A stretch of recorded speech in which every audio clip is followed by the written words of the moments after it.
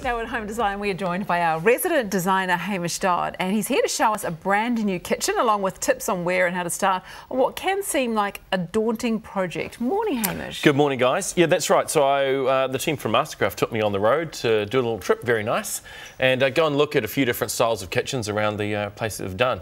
You're right, starting from scratch can be more daunting. Uh, simply, there's just nothing to work around, so basically, you've got this limitless option. The first one we looked at was in the Waikato, and my first question was who could live here?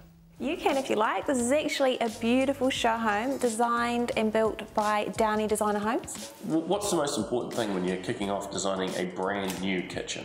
There's so much to consider. So with this build, it was actually a team. We had our Mastercraft Kitchens designer, Linda Moyle, working in collaboration with the builder and the architect and an interior designer to get this look just perfect. How important is it um, when you're designing a kitchen, um, you know, to think about who's going to be using it? You really need to consider who's going to live here. This is a family home, so there's going to be a lot of people using this space. And this kitchen reflects that by a seating area for the kids maybe, if your mum and dad are cooking, we've got a scullery, so lots of storage, and making it accessible and, you know, long term, I mean, making sure the fridge is big. You know, we might have littlies at the moment, but you might have three teenagers in a few years' time, and the fridge is going to be big enough to accommodate that. What would you consider the important things to do if you're planning on on-selling the property? করে Understated materials, you know, keeping it pared back so it's not overwhelming or too much to taste. And this kitchen displays that very well, using a soft grey rather than white with a nice timber veneer. It's not over the top and it's just a touch of veneer to warm up the space and people can envisage their items and, you know, favourite things in that space. What are the standout features in this kitchen for you?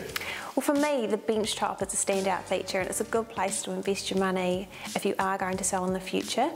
They've used a beautiful suede finish composite stone top matched with stainless steel and stainless steel is quite bright and shiny so that with the white matte finish, it really complements. It's money you're going to get back. You're not going to need to replace your bench top anytime soon. And if you are going to sell in five years' time, it's still going to look like you put it in yesterday. So tell me about the chopping boards and herbs, um, you know, sort of mounted into the bench top. Yeah, you can interchange items that are in these. You can have knife blocks and things. There's lots of accessories that fit those.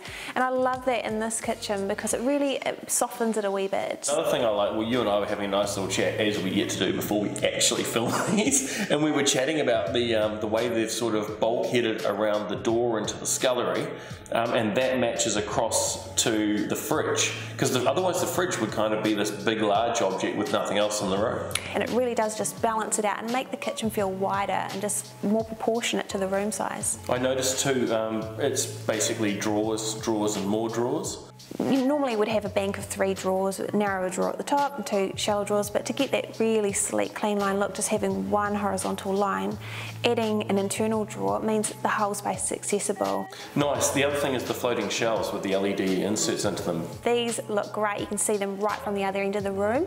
So having nice things like glassware and beautiful bowls and things, it does look really good. And it gives the kitchen an inviting sort of look like, hey, come and cook with me. Talking about shelving, Mastercraft Kitchens has also put in a bookshelf down the hallway for library books and treasures and other things. It's just a reminder that, you know, we don't just do kitchens. If you speak to them early on, we can get that continuity of joinery throughout the home and make sure everything flows. Kristen, thank you so much for showing me this beautiful show home and explaining to me exactly what goes into designing a kitchen for a new build. Uh, you know, it's, it's been amazing. Yeah, no problem. Thanks for coming. It's been great to show you around.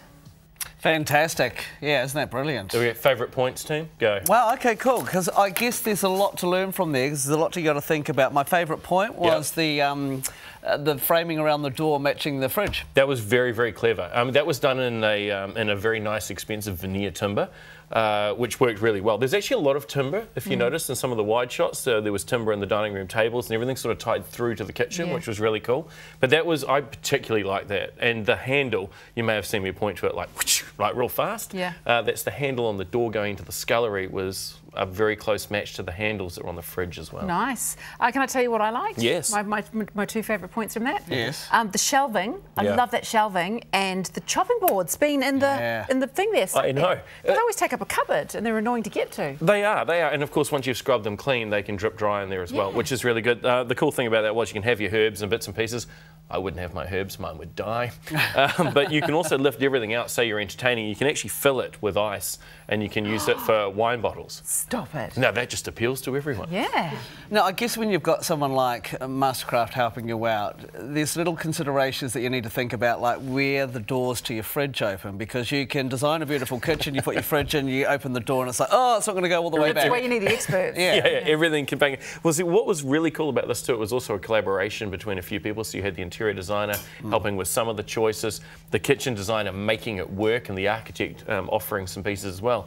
Standout things, I really love the, the little detail of only having drawers running around. So we had clean lines, but then inside that you had all your different sort of terracing and layers of drawers inside. Brilliant. The bench top was cool too. Yes, and I liked how they took the joinery into the hallway as well. I didn't know Mastercraft would That, do that's that. the thing, yeah. There was already a um, sort of a niche carved out in the hallway to have something Right. made for there. So it gives you the opportunity to get a custom shelving system put in there that's going to be deep enough for you to actually stand books up, you know, so they're not on an angle, and store all that nice treasure you have, Mike. What was that bench top like?